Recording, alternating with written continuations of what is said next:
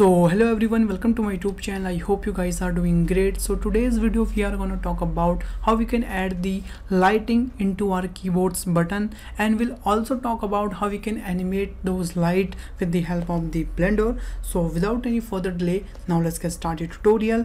And in this video you also get some tips and tricks. So make sure you watch this tutorial till end. So now let's start the tutorial so all right guys here you can see we have a new project file and right now we don't have any kind of lighting into our keyboards button. So for adding the light first of all we have to select that object where we need a light by the way. So what i'm gonna do first of all i will just select my keyboard buttons basically. So here you can see we have a these buttons which is i have joined in a one mesh. And here you can see we have a final one mesh. So what i'm gonna do first of all i'm just gonna hide everything apart from this uh, shape by the way and right now you can see we have that kind of shape here. So what i'm gonna do first of all i will just change this uh, material as a emission. Yeah something like that.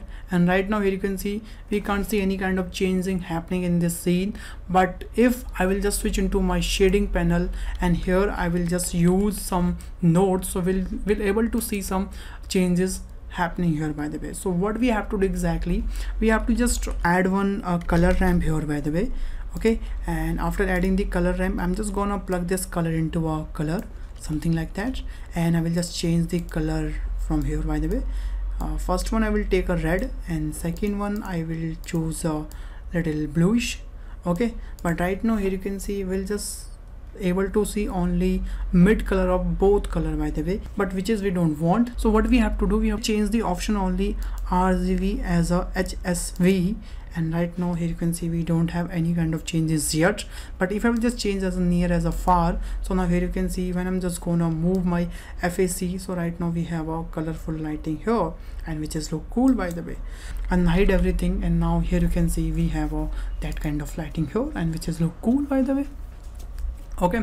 So now here you can see we have a lighting into our keyboard but still we are unable to see any kind of glare any kind of lighting effect here. So for that what we have to do we have to just go to our render properties and from here we have to just enable the bloom. And when we will enable the bloom so right now here you can see we have a little glare here but we don't have any kind of glare into our keyboards and which is not look realistic by the way. So first of all we have to just increase the strength from here. And here you can see guys when i increase the strength now we have a good glare also here and which is look more realistic. Okay so now we'll just animate this. And for animating this lighting what we have to do first of all i'm just gonna decrease this uh, FAC into a zero. And i will just uh, go to my timeline panel and i have already switched my this panel as a timeline. Okay you can also switch from here by the way.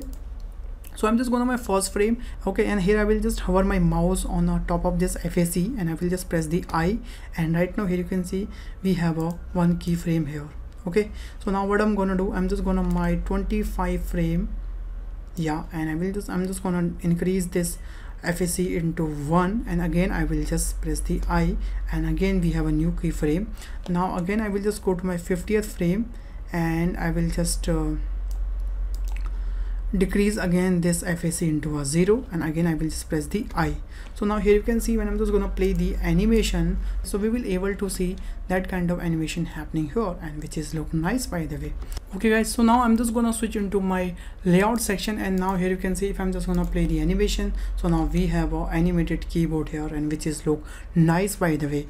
So here you can see guys that's how you can animate your um, keyboard lighting with the help of the color ramp and which is easy and cool trick so i thought i should share with you. So thanks for watching this video guys. If you learned something in this video please hit the like button the share button and subscribe my channel. Also if you have any queries if you have any suggestion please let me know in the comment box. I will definitely reply comment. So bye bye take care and stay home guys